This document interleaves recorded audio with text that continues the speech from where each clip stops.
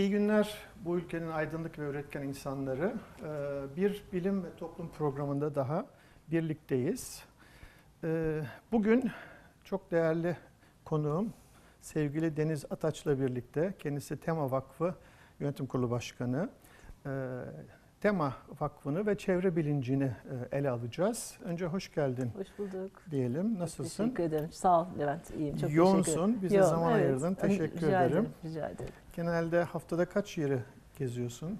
Değişiyor ama birkaç bir iki seyahat falan oluyor. Yani Peki, oluyor. Dinlenmeye, uyumaya zamanın oluyor mu? E, uyuyorum mecburen. Aksi halde devam edemem. Yani şey yaratıyorum mecburen yaratıyorum. Evet. Evet. Kendine iyi bakman Teşekkür lazım. ederim, Çünkü sağ ol. hem temaya hem bize Sağ e, ol, lazımsın. sağ ol, sağ ol Levent'ciğim sağ ol. Ee, önce kısa bir giriş yapmak istiyorum. Sonra sözü sana bırakacağım. Ee, Eskişehir Marif Koleji'ndensin, sınıf arkadaşımsın. Evet. Kaç yılında başladığımıza gitmiyorum. O konuları deşmeyelim. Ee, Boğaziçi Üniversitesi İşletme Bölümü mezunusun. Daha sonra e, Boğaziçi ve Anadolu Üniversitelerinde yüksek lisans doktora çalışmaların Evet. olmuş. Büyük bankalarda yöneticiliklerin Evet. olmuş. Ee, İstanbul Borsası'nda başkan yardımcılığı yapmışsın. Bize hiç bahsetmedin. Öyle mi? Belki bir şeyler düşerdi bize. Ee, İş Bankası'nın e, iştirakleri arasında yer alan e, Ant Gıda ve Zepa Pazarlama'da yöneticiliklerim var. Ege Zeytin ve Zeytinyağı İhracatçı Birliği Yönetim Kurulu Başkanlığı var. Evet. Tabii yoğun yoğun geçtiği için çok üretken bir e, dönem geçirdiğin için 2002 Dünya Gazetesi tarafından da en başarılı, yılın en başarılı kadın yöneticisi Evet. seçilmişsin. 2013 yılından bu yana da Tema Yönetim Kurulu Başkanlığı yapıyorsun. Ne mutlu sana. Aa, teşekkür Daha ederim. uzun bir dönem. E, Birazdan bahsedeceğiz zaten Hayrettin Karacı'dan da. Koca dededen artık Evet, biz evet. dede olduk, o koca dede. E, Daha uzun yıllar e, hizmet etmeni, bu ülkeye hizmet İnşallah. etmeni İnşallah. bekliyoruz. İnşallah. Sana sözü vermeden önce kısa bir, bir, bir buçuk dakikalık bir Tabii filmimiz ki, var. tabii ki. Onu birlikte izleyelim. Tabii ki. Ondan sonra söze başlarız. Beni çok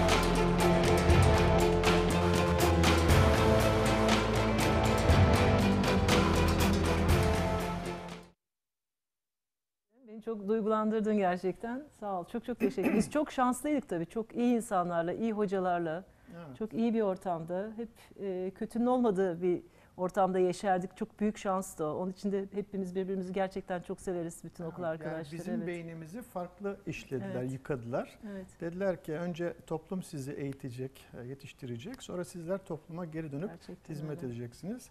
Hayatımız film şeridi gibi. Öyle, işte böyle bir öyle. bir buçuk dakikalık Evet, senin çok için teşekkür bir şey ederim. çok hazırladık. çok duygulandırdın beni sağ olasın. Umarım, Çok e, teşekkür ederim. gitmiştir. Çok, çok.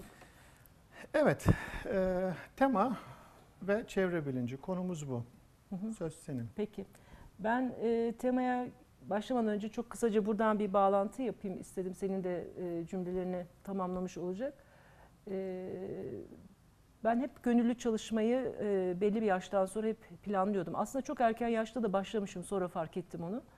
Fakat sonra hep bir yerde şey dedim yani profesyonel hayatı bir noktada bitirip sonlandırıp ondan sonra artık bir şey beklemeden sadece gönüllü olarak e, hayatımın verimli olan bir dönemini de hani çok yaşlanmadan e, ülkem için e, harcamalıyım diye hep böyle içimden o filizleniyordu. Ve en son e, çalıştığım görevimi de bırakmaya karar verince gerçekten düşündüm ve neresi olabilir diye işte denediğim ikinci sivil toplum kuruluşunda da önce profesyonel olarak çok kısa bir süre 7-8 ay Tema Vakfı'nda genel müdür olarak başladım. Sonra da gönüllü çalışmaya geçip yönetim kurulunda işte üye olarak başlayıp yönetim kurulu ama hiç önemi yok burada pozisyonları yani önemli olan sizin gönüllü olarak şey beklemeden ve hakikaten e, sizden çok daha büyük bir amaca hizmet ediyor olmanız ki bu çok e, değerli. Bunu özellikle anlatıyorum ki imrendirebilir miyim Evet. e, başka insanları da diye. Gerçekten 10 yıl oldu aslına bakarsan tam e, 2008'in Haziran ayıydı 11 yıl olacak Haziran ayında. E, çok yoğun geçiyor, çok dolu geçiyor ama bir o kadar da keyifli ve e, ne diyeyim insanı çok tatmin eden bir çalışma. Onun için ne olur yaşlarına bakmadan Hayrettin Bey e, vakfı kurduğunda 70 yaşında. E, Nihat Bey aynı zamanda birlikte biliyorsunuz biliyorsun kuruyorlar 67 yaşında. Yani bir sürü insanın artık benim için hayat bitti, ben evde işte köşeme çekilirim dediği yaşlarda bir vakıf kuruyorlar 26 yıl önce ve vakıf işte 3 kişiden 4 kişiden başlayıp bugün şu anda 750 bini geçen gönüllüyle çalışıyor ve müthiş bir şey. 650 noktada bizim gönüllü arkadaşlarımız bu amaç için e, bir şey. çalışıyorlar. İnanılmaz bir şey tabii Evet. bu. Onun için e, özellikle hani demokrasinin ülkemizde gelişmesini istiyorsak ki hepimiz çok istiyoruz. Daha iyi olsun istiyoruz. O zaman katılımı sadece seçimle, e, siyasi partilerle e, kısıtlı tutmayıp mutlaka sivil toplum kuruluşlarından çünkü o kadar çok sivil toplum kuruluşu var ki e, onlardan bir tanesini seçip bu herhangi biri olabilir hiç önemi yok. E, dolayısıyla kendilerine uygun bir ortamı yaratıp e, genç yaşta özellikle emekli olanlar hala ciddi birikimleri var, enerjileri var anlatabiliyor muyum? Dönüp bunu bir amaca hizmet ettirseler çok faydalı olur diye gerçekten inanıyorum ve eğer bu anlamda bir tek o bile bana çok yetecek örnek olabilirsem eğer e, bunun için e, benim için çok anlamlı olacak. Çünkü ülkemizin çok ihtiyacı var. Biz hiç böyle paralarla falan okumadık biliyorsun. Tabii. Yani bu ülke bizi Hakikaten. sıfır bedelle e, okuttu, büyüttü, belli bir yerlere getirdi çok şükür. Artık bizim de bir şeyleri verme zamanımız hepimizin yani geldi geçiyor bile neredeyse hızla bir şeyler yapmamız lazım. İnşallah gençler de dinliyordur. E, bizim büyükler hep onu der, siz çok şanslısınız, erken başladınız. Ki baş, erken dedi ben de 50 yaşındaydım başladığımda. E, dolayısıyla biz çok daha genç yaşlarda bize nasip oldu diye. Onun için e, çok gerçekten çok mutluyum böyle bir şey yapma fırsatını hayat bana verdiği için öyle söyleyeyim. Ee, benim yolum temayla kesişti. Tema 92 yılında işte e, söz ettiğim gibi Hayrettin Karaca ve Nihat Gökyiğit tarafından kuruluyor. Aslında kurulun temel e, şeyin vakfın temel kuruluş amacı e, üst toprak. Yani hep Evet. Temanın açılımı neydi? Tema erozyonla mücadele ve ağaçlandırma, Ağaçlandırma. ve doğal varlıkları koruma, Koruma. diye gidiyor. Aslına bakarsan önce üst toprak ve erozyon diye başlıyor. Fakat arkasından tabii diğer doğal varlıklar da e, takılıyor. Zaten kuruluş senedinde öyle bir yazmışlar ki bütün doğal varlıkların da korunmasını ve ikinci çok önemli bir basamakta bu konuda bilincin yaratılarak e, siyaset üzerinde baskı yaratılması için vakıf kurulmuş. Hı hı. Dolayısıyla biz e, bir taraftan e, işte toprak, hava, su ile uğraşırken bir yandan da hem e, yetişkinlerde ama özellikle çocuklarda e, doğa bilincinin geliştirilmesi ve onların aslında nasıl bir sorun yani bir vatandaş olarak bir e, insan olarak homo sapiens olarak aslında sorumluluklarının ne olduğunu ve eğer bu dünya ile barışık yaşamazlarsa aslında bizim gezegen bizi tutmayacak yani gezegene bir şey olmayacak sonuçta. E, Aslında dolayısıyla kendi onu anlatmaya iyiliğimiz çalışıyoruz. için Aynen öyle, çevreye aynen önem öyle, vermemiz aynen lazım. öyle. Şey e, çok güzel bir şeye rastladım diyor ki doğanın acelesi yok. 4,5 milyar yılda 8.70 milyon canlı türü yaratabildi. Biz onlardan sadece bir tanesiyiz. Eğer e, doğayla geçinmeyi başarabilirsek biz devam edeceğiz. Eğer başaramazsak da bizsiz doğa zaten yoluna devam edecek tekrar. Evet, vakıf böyle. E, Türkiye'nin en büyük aslında sivil toplum örgütü diyebiliriz herhalde değil mi? Yani Çağdaş Yaşam var, LÖSEV var ama e, Sanıyorum çok iddialı olmak istemiyorum. Belki vardır ama sanıyorum e, şöyle söyleyeyim 750 bini geçti dediğim gibi gönüllü sayısı. 650 noktada şu anda örgütlüyüz E, ve bunlar tamamen kendi kasabalarında, ilçelerinde veya il merkezlerinde veya üniversitelerde bunların içinde 150'ye yakında üniversite var. Gençlik çünkü çok gençlik önem veriyoruz biz Hı hı. e, temanın gençleşmesine. Çünkü hepimiz sonuçta bir yerde bırakacağız. Eğer bu e, amaç devam edecekse bu amaca hizmet gençlerin bunu bizden alması lazım. Tabii, özellikle. Onun için de üniversitelere özellikle çok önem veriyoruz. Ee, Gençler de müthiş bir heyecanla geliyorlar ve hep beraber çalışıyoruz. Dolayısıyla sanıyorum en yaygınlarından biriyiz ama hani büyüklük neye göre anlatabiliyor muyum? Onun için çok hani iddialı bir şey de söylemek istemiyorum ama büyüklerden biriyiz en azından öyle söyleyeyim. Evet. Güzel, ümit verici bir şey. Evet. Ee, peki tema çalışmalarını biraz bize özetler misiniz? Ne yapıyorsunuz? Tabii. Ee, aslında biz e, dört bacakta götürüyoruz. Ee, bir tanesi herkesin çok iyi bildiği bu ağaçlandırma Hı hı. e, çalışmaları. Yılda aşağı yukarı 850-900 bin e, adet fidanı tema e, bağışçılarından topladığı kaynaklarla ve Orman Bakanlığı işbirliğiyle toprakla buluşturuyor. Bu ciddi bir operasyon tabii. E, aslında burada operasyonun büyük bir kısmı bakanlıkta ama onun da biz takibi, işte yer seçimi ve daha sonra bağışçılarımızın bildirilen, bil- bilgi, ay söyleyemedim, bilgilendirilmesi anlamında orada önemli bir rol oynuyoruz. Ve tabii şeylere çok dikkat ediyoruz. Yani o sahalardaki verim e, yüksek olması. Dolayısıyla bize yatırılan her paranın karşılığını mümkün olduğu kadar en yüksek oranda vermeye çalışıyoruz. Bir tanesi bu. Bunun dışında e, kırsal kalkınma projeleri yapıyoruz. Onu da şunun için yine büyüklerimiz diyorlar ki e, doğa üzerindeki en önemli baskıyı aslında fakirlik yaratıyor. Çünkü fakir bir insana siz doğadan istediğiniz kadar bahsedin. Yani adam akşam ne yiyeceğini düşünüyorsa sizin söyledikleriniz çok afaki kalıyor yani. Ayak- Sadece çevreyle ilgili değil, her şeyle ilgili. Aynen öyle. Biz Yani biraz onu da Türkiye'de algılamakta zorluk çekiyoruz aslında. Bir toplum olarak öyle bir sıkıntımız var. Ee, Dolayısıyla diyorlar ki biz yani bir sivil toplum kuruluşu olarak sınırlı imkanlarımız var. Çünkü fonumuzu da biz kendimiz yaratıyoruz. Ee, Dolayısıyla e, biz örnek projeler yapalım ve o örnek projeler üzerinden bunun kamuoyu nezdinde dikkat çekelim. Hem kamunun, devletin hem de halkın bu konudaki hareketlenmesini sağlayalım diye ve e, çok ciddi sayıda kırsal kalkınma projesi tema gerçekleştiriyor. Şu anda da e, Antep'te büyük bir proje yapıyoruz. Antep yani bir örnek olsun diye söylüyorum. Fıstık ağaçlarının ağaç başına veriminin yükseltilmesi için yine bir özel sektör e, sponsorluğunda oluyor. Bu tabii önce kaynağı hep bulmamız gerekiyor. 7. senesini bitirdi. Şimdi 5 sene daha büyük bir ihtimalle uzayacak. Çünkü tarım projeleri sen de e, bilirsin çok uzun süreli. Yani bir senede iki senede falan tarımda bir şeyler elde etmek mümkün değil. Diğer mesela çok sevdiğimiz, yani hepsini çok seviyoruz. Bir tanesi sakız ağaçlarıyla ilgiliydi. Mesela o da çok amacına ulaştı. Ee, Çeşme turizme açıldığı için aslında dünyada sadece iki yerde yetişen sakız ağaçları turizm nedeniyle yok oluyordu. Fakat bunların da bir genetik e, çok önemli ve saklanması gerekiyor. Orada biz bayağı bir yine bir başka bir yine bir sivil söyleyin özel sektör kuruluşuyla çalışmaya başladık ve şu anda çok ciddi bir şekilde plantasyon yapıldı. Yatırımcılar yap, özel yatırımcılar da yaptı, halk da girdi ve şu anda çok büyük bir yayılım sağladı. Yani ki hala kaybediyoruz büyük ağaçları ama en azından biz gen e, bankası oluşturduk. O gen bankası içerisinde topladık ve onu da e, belli bir noktaya geldikten sonra Orman Bakanlığı'na devrettik. Onlar onun Çok güzel. şeyini yapıyor. Bunun gibi işte çay projesi var Rize'de şu anda o devam ediyor. Oradaki de tamamen toprakla ilgili bir konu. Topraktaki asitlik çok yüksek. E, dolayısıyla o hem ortamı yani çay yetişiyor ama e, kalitesini etkiliyor. Hem de öbür taraftan da toprağı çok hırpalıyor. E, toprakta canlı o asitlikte yaşamadığı için bu sefer bu örneğe kimyasal gübre veriyorsunuz. E, o da hem toprağı kirletiyor hem ciddi bir şekilde yeraltı ve yerüstü sularını kirletiyor. Yani Karadeniz'de böyle bir kirlilik meselesi var. Orada da bir iki senelik e, 10 bin kişiye ulaştık. Bir farkındalık e, yaratmak için. Arkadaşlarımız çok başarılı işler yaptı. 360 derece önce Rize'ye dedik ya bak siz burada doğru yapmıyorsunuz. Yani bunun bir farkına ne olur varın ve hakikaten vardılar. Ve şimdi şi- ciddi bir şekilde şey düşüyor. Düştü yani %20'lere falan indi bu bizim istemediğimiz e, gübreler. Diğer taraftan da şimdi 6 tane örnek bahçe kuruyoruz. 2 tanesini tamamladık. Proje sonuna kadar 6 olacak. Orada da hani tamam biz böyle anlatıyoruz şöyle yapın böyle ama hadi bir gösterelim nasıl yapılacak diye. Eğer orada da bir eğer uygulamalarda da çünkü sadece e, şeydi işte çapalamada yapması gerekiyor. Anlatabiliyor muyum? Aralarının düzgün olması gerekiyor gibi bir dizi e, uygulamanın düzgün olması lazım. Onun için de bahçe üzerinden bir tanesi mesela cami bahçesinde yani böyle herkesin görebileceği. e, dolayısıyla kolay kapılabilecek.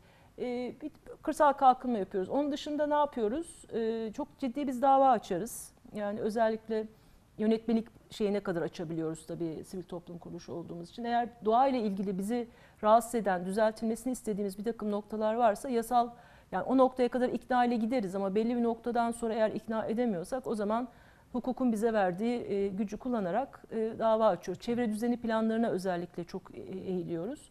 Orada da e, mekan arazi planlamasının çok düzgün yapılması lazım. Hı hı. O yapılmadığı zaman sonradan münferit olaylarda bunlarla beraber hani hakikaten çalışmak üzerlerine çok zor bir hale geliyor. E, bir tanesi de o. Bir tanesi çok önemli yine e, eğitim söylediğim gibi. Tema'nın Milli Eğitim Bakanlığı'yla e, şeyleri var. e, kontrat yapıyor. var. Evet, hı. sözleşme yapıyor. Bizim dört tane eğitim programımız var. Okul öncesinden başlıyoruz. İlkokul, ortaokul ve lise. Hı hı. Ee, burada okullarda yine gönüllü öğretmenler, bizim gönüllü arkadaşlarımız tabii ki destek oluyor ama esas gönüllü öğretmenler. Yani diyelim ben işte Eskişehir Yunus Emre İlkokulu'nun e, 2B sınıfının öğretmeniyim ve tema programlarından da haberim var. Diyorum ki ben bu sene kendi sınıfımda bunu uygulamak istiyorum. Hı hı. Bizim gönüllülerle irtibata geçiyorum ve onlar kontenjan dahilinde herkese tabii gidemiyoruz. Yani mümkün değil çünkü. Çünkü biz para almıyoruz. Hı hı. Bütün malzemeyi vakıf kaynaklarından karşılıyoruz. Bir tek gönüllü kaydı yapıyoruz. Ee, ondan sonra e, o ben bana şey geliyor. Müfredata göre hazırlanmış öğretmen rehberi geliyor. Dolayısıyla ben hangi derste hangi aktiviteyi yapılacağımı o öğretmen rehberi üzerinden belirliyorum ve belli sayıda aktiviteyi yıl boyunca kendi çocuklarımla yapıyorum. Bunun içinde hep çocukları doğaya yaklaştırmak ve doğanın sınırlarını anlatmak var. Ee, ve yıl sonunda da eğer tamamlamışsam işte bir ufak hediyelerimiz oluyor. Onu tamamlıyor. Bu sene e, ilk defa 240 bin çocuğa çıkacağız. Ee, yani Müthiş. müthiş. bir rakam. Tabii Gerçekten. bir sivil toplum kuruluşu için çok büyük bir Tabii. rakam. Yoksa bizim biliyorsun 10 milyon, 13 milyonun üzerinde öğrenci Diyorsun. sayıları. Ama şimdi belki tabii bizim buradaki dileğimiz müfredatın içine bir gün bunların tamamen sokulup Girmesi. bütün öğrencilerimize e, bunun aktarılması. Bunu yapıyoruz. Bütün bunları yaparken de bizim e, sahadaki demin sözünü ettiğim sayılardaki temsilcilerimiz ve ilçe sorumlularımız ve gönüllerimiz, aktif gönüllerimiz her yerde bize yardım Evet. ediyorlar. Yani bütün şehirlerdeki, okullardaki anlatabiliyor. Okul dışında işte mesela en son bir kurumla başka bir proje yaptık. Mağaza içi etkinliklerine kadar gitti iş. Yani orada çünkü anne baba da giriyor bu sefer işin içine. Orada hafta sonu bu çok sevgili gönüllerimiz gidiyorlar hayatlarını bırakıp herkesin sonunda yapacağı bir şey bırakıyor ama buna bu amaca hizmet Hizmet etmek için hafta sonu gece gündüz demeden Çalışıyor. çalışıyorlar. Böyle bir e, programımız var. Evet. Aslında temanın sadece Türkiye'de değil, hani uluslararası platformda da marka olması, işte bütün bu çabaların sizlerin yoğun e, gönüllü çabaların sayesinde oluyor. E, Levent'ciğim gerçekten- haklısın. E, nereye gitsek, e, hani hangi toplantıya gitsek tema bir farklı algılanıyor. Evet. Çünkü bu kadar geniş ve bu kadar e, nasıl diyeyim büyük çalışma yapan çok fazla sivil toplum kuruluşu dünyada da yok. Yani bu kadar süreli de e, Evet. pek Evet. yok yani. e, çünkü bir ayağınız siyasetle iyi geçinmeniz lazım, bakanlıklarla iyi geçinmeniz lazım. İşte camilerden kasabana, imamına kadar Tabii. herkese ulaşmanız Aynen. lazım. Çünkü insanın olduğu bir şey bu. Dolayısıyla gerçekten tema gurur duyduğumuz Sağ ol, çok bir teşekkür e, ederim. vakıf. De tema şeyi çok iyi yapmış. Çok teşekkür ederim. Bence o çok önemli. Siyaset üstü durmayı bilebiliyoruz. Evet, yani evet. o çok önemli. Evet. Çok çaba sarf ediyoruz onun için. Ee, yani hiçbir çalışma hepimizin tabii ki siyasi görüşü var. O ayrı konu. Bizde çalışan her arkadaşımız ama Tabii. tema çalışmalarında kesinlikle siyaset konuşulmaz, girmez. Ee, ve izin vermeyiz ona. Çünkü eğer siyaset yapmak istiyorsanız siyasi partiler var zaten. zaten. Hangisi size uygunsa orada gidip çalışabilirsiniz. Bunda herhalde Hayrettin e, Koca Dede'nin e, şeyi Tabii ki, tabii ki. e, İkisinin de. tecrübeleri değil mi? İkisinin de hem Evet. Nihat Bey'in Nihat hem Bey'in. hem Hayrettin Bey'in. Onlarla görüşüyor musun? Tabii ki devamlı. Nasıllar, iyiler mi? Ya Hayrettin Bey çok tabii artık şey oldu. Söyle, bir de onun hayatı da biliyorsun çok zor. İki çocuğunu e, kaybetmiş. Tamam onun hakikaten büyük, önemli bir çocuğu.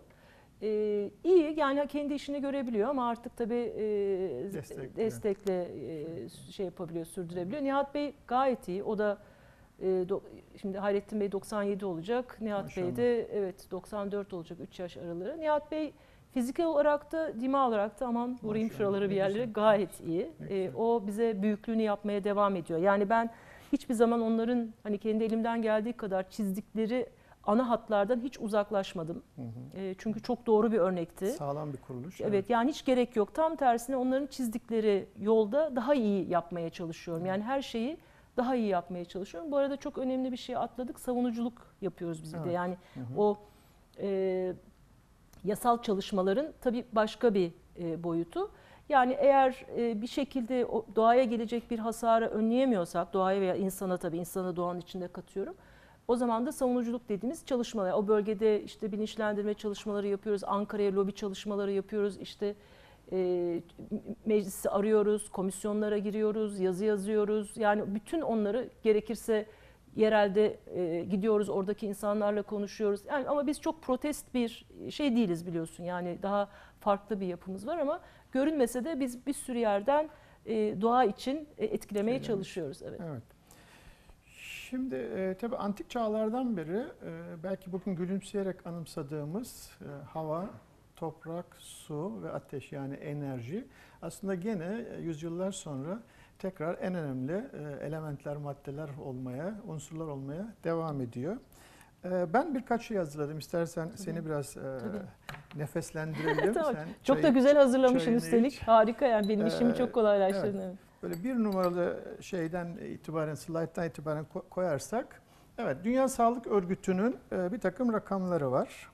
Nüfusun %91'i yani yaklaşık 6,5 milyar insan temiz havadan yoksun. Dünya Sağlık Örgütü'nün internet sitesinde bunlar var. Nüfusun e, üçte biri yani %29'u yaklaşık 2 milyarın üzerindeki insan temiz sudan yoksun. Nüfusun %41'i 3 milyar insan temiz enerjiden yoksun. Her yıl 7 milyon prematüre e, doğum oluyormuş. Her yıl 500 bin çocuk temiz su bulamadığı için e, yaşamını yitiriyor. E, Ve 1 milyona yakın e, çocuk da veya kişi de ishalden ölmekte. Bu rakamlar büyük şeyler. Burada bir şey söylemek istiyorum. Hava kirliliği konusu o kadar önemli ki şu anda hava kirliliğinden dünyada ölen sayı, sayısı sigaradan daha fazla Daha biliyor fazla, musunuz? Ama evet. biz sigara ile uğraşıyoruz. Evet, Hava kirliliğini yok sayıyoruz. Evet. Böyle bir enteresan bir dilema var orada. Evet. var. Ona birazdan Evet, birkaç evet. şeyle ben de değineceğim zaten. Şimdi şeyin e, biz bilim ve toplum programında kulakları çınlasın Kürşat Hoca ile beraber zaman zaman e, karşılaştırmalar yaparız. Hı. Ülkeleri, üniversiteleri, Tamam. kurumları, firmaları. Bunlar da belli endeksler üzerinden yapılır. İşte ekonomi endeksi deriz, Hı hı. gelişim endeksi deriz, Hı. hukuk, demokrasi endeksleri deriz. Seni davet ettikten sonra biraz internet taraması yaptım. Ee, Yale Üniversitesi dünyanın ilk 10 üniversitesi arasında sayılan güzel bir üniversitedir. Onun e, çevre performans endeksi diye bir endeksine rastladım. Bu bir çalışma, bir model. Ve burada gördüğünüz hava kalitesi, işte su, tuvalet, ağır metaller, biyolojik çeşitlilik, iklim, denizcilik, su kaynakları, tarım, ormanlar dahil böyle 10 parametre üzerinden hı. ülkeleri Şey e, sıralıyor. Sıralıyor. Yani 200'e yakın ülkenin sıralaması var. E, çevre performansı en iyi olan ülkeler bir sonraki şeye 3 numaralı şekle bakarsak e, Avrupa ülkeleri bir numarada İsviçre, Fransa, Danimarka, Malta ve İsveç var ilk 5'te. Bir sonraki şeyde de slaytta da diğer büyük ülkelerin şeyleri var. Çevre performans endekslerine göre sıralamaları. Çin 120. biz 108.yiz. İkimiz de kötüyüz yani Çin ve Türkiye çok kötü. Rusya o da kötü 52. sırada. Amerika 27, Almanya 13. sırada. Yani büyük ülkeler ilk ona girmenin epey uzağında. Çevre kirliliği konusunda e, hani sınıfı geçen ülkeler ne yazık ki yok. Bir sonraki slaytta da Türkiye'nin e, sıralamaları var. O az önce saydığımız sorunlara çevre Tabii. sağlığı, hava Hı kalitesi vesaire diye gidiyor. Ekosistem, biyoçeşitlilik. Tabii bunlar hepsi fikir vermek için modeller. hı hı. Modeller tartışılabilir, rakamlar tartışılabilir.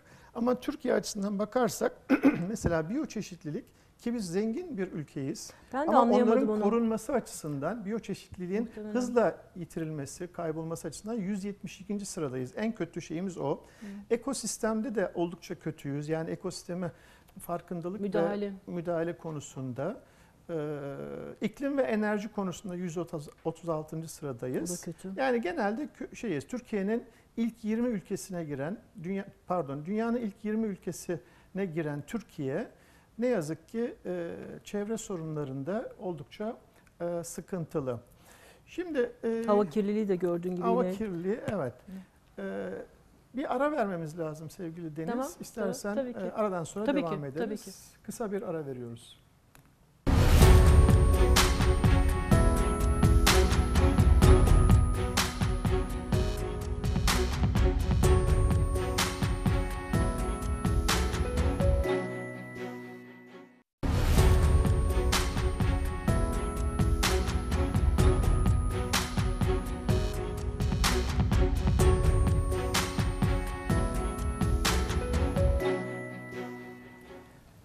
Tekrar merhaba. Ee, sevgili Deniz Ataç, e, ortaokuldan beri arkadaşım, kardeşim, dostum.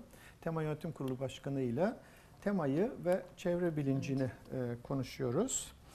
E, az önce gösterdiğimiz e, slaytlarda e, özellikle Yale Üniversitesi'nin e, Çevre Performans Endeksi diye bir endeksinden bahsettik. Ve burada deniz kirliliğinden, hava kirliliğine, ormanlardan biyoçeşitliliğine, ekosistem bozulmalarına kadar 8-10 parametre üzerinden geliştirdikleri bir modelle ülkeleri e, sıralıyorlar. Ka- ülkelerin karnelerini veriyorlar. Türkiye ne yazık ki en iyi olduğu işte tarım e, gibi alanlarda bile ancak ilk 50'ye girebiliyor. En kötü olduğumuz alanlar işte söylemiştik biyoçeşitlilik ve ekosistem ki çok zenginiz ama demek ki çok hızlı kaybetme riskiyle karşı karşıyayız ki bu sistem, bu model e, bizi 172. işte 156. sıralara kadar geriletiyor. E, Detayları ve modelle ilgili şeyleri yukarıda e, Bakmak verilen internet sitesinden Bakacağım, bakacağım. evet epi.envirecenter@yale.edu diye gidiyor. Burada bir Zaten- yorum yapmak isterim e, müsaade Buyur. edersen. Ee, şimdi şu- Türkiye e, şöyle bir dönemden geçiyor.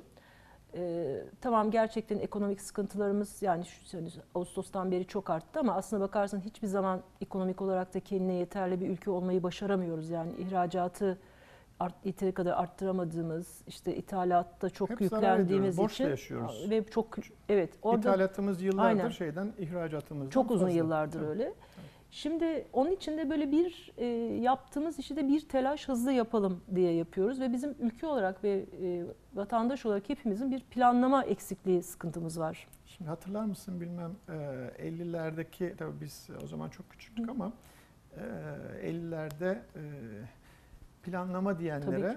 Hani plan istiyoruz diyenlere pilav istiyoruz diye sloganlarla karşı çıkan bir İşte kesim ama vardı. işte ilo, pilav, e, plan olmayınca pilav, Pilav da olmuyor. olmuyor Yani yani, başkasının pilavıyla da bir yere kadar gidebiliyorsun. evet. Şimdi mesela hidroelektrik santraller bir dönem yani oradan bağlayacağım buraya onun için anlatıyorum. Çok gündemdeydi. Hala da zaman zaman gündeme geliyor. Tema bu konuda ilk görüş açıklayan sivil toplum kuruluşlarından biridir. Ben de vakfa başlayalı bir, bir süre olmuştu. Ee, aslında hidroelektrik santraller temiz enerji biliyorsun. Yani kategori olarak Yenilenebilir. e, yenilebilir enerji ve temiz enerji. Ama biz her işe girdiğimiz gibi ona da öyle bir giriyoruz ki böyle paldır küldür hiç hani ne oluyor bir dakika önü arkası rüzgarda da aynı hatayı yaptık. Ya şimdi kuruluş yeri denen bir şey vardır. Yani bir, bir işletmeyi bir işte enerji santralini neyi kuruyorsan onu kurarken önce bir kuruluş yerine dikkat etmen lazım. Orada da işte hiç girmeyeceğim. O çok uzun bir konu. ÇED dediğimiz Hı hı. çevre etki değerlendirme prosedürümüz. Orada çok ciddi sıkıntılarımız var. E şimdi ÇED yapılıyor. Yani ben de özel sektörde yıllarca çalıştım. Hani biz de o tarafında olduk. Hata yaptığımız yerler de olmuş. Şimdi onu ben de kendim de anlıyorum. Ama şimdi bir dakika hidroelektrik santrali temiz enerji eğer sen bir nehrin üzerine 5 tane arka arkaya dizersen bu temiz enerji olmuyor. Anlatabiliyor Doğayı muyum? Ve sen orada işte bağışta biliyorsunuz Karadeniz ayağa kalktı. Yani ya bütün ekosistemi yani mesela bir başka bir şey e, zihnim ağzım zihnime yetmiyor. Yani su akar Türk bakar. Ya böyle böyle bir saçma bir şey olabilir mi? Tabii Evet. ki akacak ve bakacak yani. Akacak, Orada çünkü tabii. o suyun içinde ekosistemin de hakkı var. Yani sadece o geze- gezegenin üzerindeki her şey bizim için yaratılmamış ve bizim için yapılmamış ki. Yani orada da bir sürü canlı var ve biz hangi dinde olursan ol da o canlıları da korumak senin görevin. E şimdi sen orada yeteri kadar su bırakmıyorsan o derinin üzerindeki e, ekosistemi hiçbir şekilde dikkate almadan çak çak çak çak arkaya bunları e, dikiyorsan işte o zaman puanların böyle düşer. Anlatabiliyor muyum? Aslında onun şeyi de tabii ki e, her işte olduğu gibi liyakata dayanıyor. Yani e, çevre konusunda, ekonomi konusunda, savunma konusunda ne olursa olsun, eğitim konusunda Evet. işi uzmanına verdiğin zaman ve dediğin gibi acele etmeden sağlıklı planlamalarla Tabii. gidersen yapıyorsun. Cumhuriyet'in ilk yıllarında bunu yapmışız. Hı hı hı. Çok güzel planlar yapmışız ve o planların ötesinde de e, işler yapmışız. Evet ama şimdi artık bunu gerçekten öğrenmek lazım. Aynı şeyi mesela termik santrallerde yaşıyoruz. Biz e, TEMA e, toprak kanunu çıkmasına çok gayret sarf etmiş kuruluşlardan bir tanesi. Çünkü Türkiye'nin toprak yasası yok ve çok çaba sarf ediyorlar ve bütün partilerin oy birliğiyle çıkıyor şeyden. Neyse altı sonra çok gelmiyor ama e, onun içinde bir maddede e, tarımsal sit büyük büyük ovaların belirlenmesi ve bunların tarımsal sit olarak ilan edilmesi. Orada e, iki bakan öncesinde şimdi bakanlar da devam ediyor. başlandı mesela bu işe. Güzel. E, Şu anda 200'ü geçkin ova e, tarımsal sit olarak daha hala güçlendirilmesi lazım mevzuatın ama en azından ilan et. Eşim birdenbire seviniyorsunuz. Harika biz teşekkür mektupları yazdık. Çok sevindik. Yıllardır bunu bekliyoruz. Birdenbire şimdi pat pat pat termik santraller bu büyük ovaların içine gelmeye başladı. E şimdi burada bir planlama hatası yine var anlatabiliyor muyum? Şimdi HES'te yaptık tamam. Hadi olabilir diyelim. Yapmasaydık tabii olabilir demeyeyim. Çok büyük hasar var da. Öbür taraftan e şimdi termikte aynı şeyi yapıyoruz. E, o zaman ya bir dakika o demek ki burada bir planlama ve e, eşgüdüm sıkıntısı var. Tamam enerji de lazım demin ilk, başta konuştuğumuz konulardan dolayı ama mesela kimse tasarruftan bahsetmiyor. Hiç kimse sen çok iyi biliyorsun enerji yoğunluğundan bahsetmiyor. Şu anda en yoğun enerjiyle üretim yapan ülkelerden bir tanesiyiz. İnanılmaz kaçaklar var. %30'a varan hem şeyde söyleyin e, enerji kullandığımız her yerde büyük kaçaklar var. E şimdi önce o delikleri tıkamadan niye kendi geleceğimizi yok ediyoruz? Yani o e, tarım alanını bu, biz yok ediyorsak termik santralle çünkü o etrafında tabii ki termik santral hem insana hem toprağa hem suya her tarafa e, zarar veriyor. Sonuçta sıfır e, zararlı termik santral diye bir şey yok yani. Bir de o konuşuluyor şimdi de yok öyle bir şey. Yani dünyada yok öyle bir şey. E o zaman niye çoluğun çocuğun oradaki canlının anlatabiliyor muyum? Neden biz 30 yıl için 40 yıl için yok edelim? E, buralarda biraz daha bir yavaşlayıp sakin olmak ve hangi dönemde çıkarı hesaplıyoruz? Çünkü biz de hepimiz hayatımız hesap yaparak geçti ama 30 senelik hesabı mı yapıyoruz? 150 senelik hesabı mı yapıyoruz? 200 senelik mi hesabı yapıyoruz? Buralara çok dikkat etmek Etmek gerekiyor. lazım, evet. Yani meslek örgütleri ve sivil toplum kuruluşları tema gibi burada e, liderlik etmeli ve politikada, siyaset de aslında onunla kol kola gitmeli. Yani Konuşuyoruz, çok konuşuyoruz. evet. Gerçekten Yani konuşuyoruz. yapılacak evet, iş çok konuşuyoruz. aslında evet. da e, şey o yüzden daha fazla gönüllüye, Evet. daha fazla herkese Gerçekten. ihtiyacımız var. Herkese Yani ihtiyacımız var. herkes oturduğu yerden slogan atmak yerine Evet. elini taşın altına koyup Ben klavye başına- aktivistleri diyorum. Türkiye'de çok sayıda Evet. maalesef klavye ve e, masa aktivisti var ama artık yani aktivizm hani iyi anlamda konuşuyorum çıkıp yıkmak, dağıtmak anlamı değil. Bizim zaten hiçbir zaman öyle bir şeyimiz olmaz, tarzımız olmaz ama herkesin artık biraz masalardan ve klavyeden kalkıp sofralardan bahsediyorum. Hı hı. Gerçekten demokrasi istiyorsa bu ülke bizim, burada yaşayacağız Hı hı. ve bu ülkede bir şeyler de eğer daha iyi gitmesi gerekiyorsa hep beraber çaba gösterelim. Birileri gelip yapmayacak bunu. Evet ve yani bu bir defa yapmakla da olmuyor. Sürekli yapmak Kula- gerekiyor. kulaklarına çınlatalım. Bizim Haluk Aysu, yeni Evet, sınıf evet, arkadaşımız. evet, evet. e, dünya çapında mimar, ödüllü Gerçekten. mimardır. Şimdi eşiyle beraber Ayvalık'a yerleşti. ve Gerçek. Her hafta gidiyorlar. Oradaki 7-8 yaşlarındaki çocuğu tema gönüllüsü Evet. gibi eğitiyorlar. Plastikleri topluyorlar deniz kenarından. Plajları temizlemeye çalışıyorlar. Aynen. Yani bu sürekli şey isteyen, emek isteyen, çaba isteyen bir iş. Nasıl bir iş yapıyorlar orada Levent bilemezsin ya. Hani ben böyle şey e, böyle bakarken e, fotoğraflara falan gözlerim hakikaten doluyor. Şey Haluk geldi dediğin gibi Haluk gerçekten çok önemli bir mimar. Geldi Ayvalık'a e, eşi de Avustralyalı. E, onunla beraber başladılar falan ya zaten yapıyorsunuz bizim temsilciliği de al o zaman dedim ve bizim oradaki ilçe e, sorumlumuz oldu ve inanılmaz yapıyor İşte, dediğin gibi. evet. Hem örnek oluyorlar hem etraflarını Ama güzelleştiriyorlar. Ayvalık'ta Haluk gibi Evet. e, işte bankacılıktan emekli olmuş, başka şeylerden Çok emekli var. olmuş ve Ayvalık için çalışan gönüllü çok var. Çok yani o var. açıdan Ama Haluk şanslılar. çekti başı. Haluk Yoktu. başı Biz çekti. bulamıyorduk biliyor musunuz? Biz Ayvalık'ta çok uzun yıllar gerçekten o işi yapacak birini bulmakta Evet. zorlandık mesela. Ama çok enteresan. arkasında da Ingrid var Geldi. herhalde. Ingrid eşi. var tabii tabii. Ingrid çok önemli bir faktör o orada. çok güzel şey Evet, yapıyorlar. evet.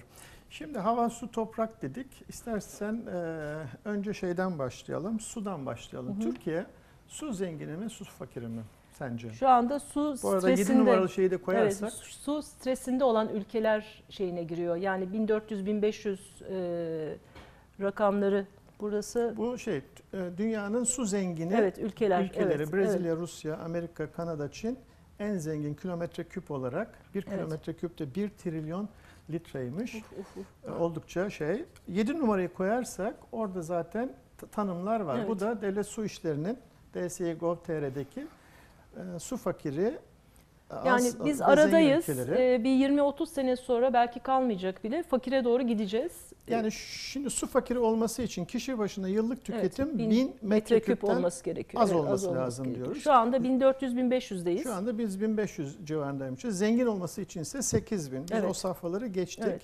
Benim notlarımda şöyle diyor. 1960 yılında nüfusumuz 28 milyonken 4 bin metreküpmüş. Metreküpteymiş. Neredeyse Zengin iki buçuk ne üç istersen, katı. evet.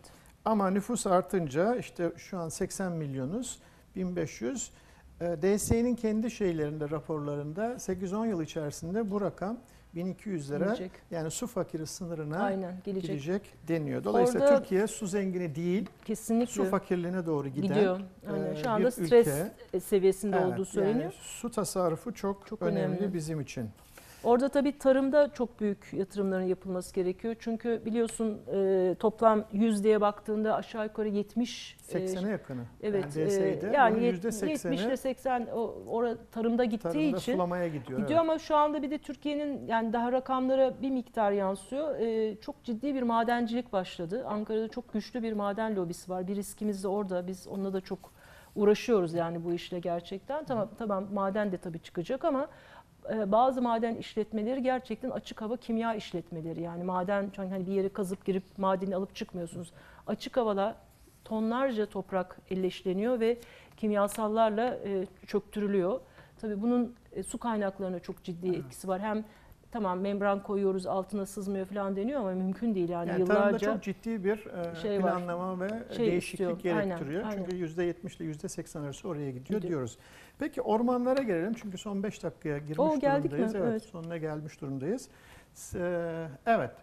E, Dünya Bankası ormanlık alan bakımından 1990 ve 2015'te ülkeleri sıralamış. Ben oradan aldım bunları. Türkiye 1990'da %12,5 topraklarının %12,5'u buçuğu. ormanken bu, bu bugün için %15'e yani Hı hı. %3'lük bir büyüme var. Var. Güzel. Çin e, büyümüş. 16'dan 22'ye gelmiş. Rusya'nın neredeyse yarısı orman. Finlandiya'nın %70'i orman. Hı hı. Amerika %35'lere gidiyor. Brezilya %65'ten %59'a düşmüş. Brezilya'da biliyorsunuz Evet, tabii Amazon çok ormanlarındaki ciddi katliam bir var orada. katliam var. Ama dünyanın geneli %32'den %30'lara Hı hı. şey var. Yani dünyada ormanlar Kaybediyor. azalıyor. Tabii, kesinlikle. Ama Türkiye dahil bazı ülkelerde artıyor diyoruz. Şimdi Or- Tarım Orman Bakanlığı'nın şeylerine baktığım zaman e, %15 rakamı %28 gösteriliyor. Hı hı. Tabii bu neden diye ben araştırdım. Aslında tanımdan kaynaklanıyor. Ormanlık alanı nasıl tanımladığınızına bağlı. FAO biliyorsun e, uluslararası senin de yakından Gıda örgütü, tabii. örgütü ormanlık alanı şöyle tanımlıyor. En az bir 0,5 hektar olacak. Ağaçların boyu 15 metre olacak. İşte o alanın %10'u ağaçlarla kaplı olacak diye. Tabii ki yani e, 10 santimlik 15 santimlik ektiğimiz fidanları daha şimdiden orman sayarsak Türkiye'nin üçte bir ormandır diyebiliriz. Tarım ve Orman Bakanlığı gibi. Ama Dünya Bankası'nın ölçülerinde, uluslararası ölçülerde şu anda %15'lik bir alana sahibiz. Şimdi orada birkaç tane noktayı özellikle altını çizmek isterim. Tabii Orman Bakanlığı'nın yani ne olur yanlış anlaşılmasın kimseyi övme şeyinde değilim ama yapılan işi de Biz rakamları şey ortaya koyuyoruz. lazım. Evet. bir çaba, çok ciddi bir çaba içerisinde Türkiye ormanlık alanlarını arttırmak için E, ve çok ciddi dikimler yapılıyor. E, ama bir de dediğin gibi bizde orman alanı deyince kadastral olarak da orman alanına bakılıyor. Ama bizim e, neredeyse e, bozuk orman arazileriniz yarısına yakın bir e, ölçüye geliyor. Onun için bizim hızla şeyi kaybetmememiz lazım. Bu fidan dikmeye devam etmemiz lazım. Öbür taraftan da çok önemli bir konu. Ne olur kim izliyorsa aklında kalsın. Türkiye'nin çok önemli bir avantajı var. Doğal ormanları var hala. Hala var. Evet. Yani monokültür olmayan, insan eliyle yapılmamış, doğanın e, uzun yıllar içerisinde oluşturduğu karışık ve çok değerli doğal ormanlar var. Biz bunları korumak zorundayız. İstersen 15 numaralı son slaytımızı ko- koyalım. Zaten son bir dakika içindeyiz. 15 numaralı slaytı koyarsak orada çözüm nedir? Hı hı. Hani bu kadar konuştuk, sohbet Hı hı. ettik, eleştirdik. Çözüm nedir diye baktığımız zaman e, son şeyde evet istersen burada sen Evet. e, son sözü Yani burada tasarruf hem suda hem enerjide çok önemli ve hepimizin hani ben ne yapabilirim değil herkesin yapabileceği bir şey var. Ya ben bir sürü girdiğim ortamda elektrik kapattırıyorum. Yani o bir ampul bile çok, çok önemli. önemli. Geri dönüşüm çok önemli, çok gerideyiz ama bu sıfır atık projesiyle beraber bu bilinç yayılmaya başladı. Başladı. Bugün de şişelere depozito galiba geldi. Öyle bir şey gördüm Hı hı. tam anlayamadım. Plastiğe Plastiği, son. evet aynen. Doğal ol yani biz şunu doğanın sınırlarını bilip doğaya uygun yaşamayı öğrenmemiz Bilmemiz lazım. lazım. Bunun için de okumamız lazım. Alternatif Aynen enerji temiz enerji, ağaçlandırma, yönlendirme. akıllı sistemlere yönelmek, eğitim ve kent bilinci. Tabii kentler de çok önemli. ve Evet. Kentli olabilmekte. Burada deminki cümlemi tamamlamak istiyorum. Ee, Süremiz bitti. tamam. Son Ee, e, ahşap ihtiyacımızı onun için yetiştirilmiş ormanlardan yani ağaç tarımı yapılarak elde ettiğimiz yerden alıp doğal ormanlara hiçbir şekilde ellememiz lazım. lazım. Evet. Sevgili Deniz çok teşekkür ederim. Rica Şimdi biz ederim. programdan sonra seninle ve Evet. 15 tane yine sınıf arkadaşımızla buluşup Taksim'de Evet. biraz hasret gidereceğiz. Evet, değerli e, Ulusal Kanal izleyicileri, bugün Bilim ve Toplum programında Tema Vakfı Yönetim Kurulu Başkanı ee, sevgili Deniz Ataç'ı konuk ettik. Teşekkür ediyoruz Çok teşekkür için. ediyorum. Sağ olun. Bir başka programda görüşmek üzere. Ee, esen kalın, sevgiyle kalın, hoşça kalın.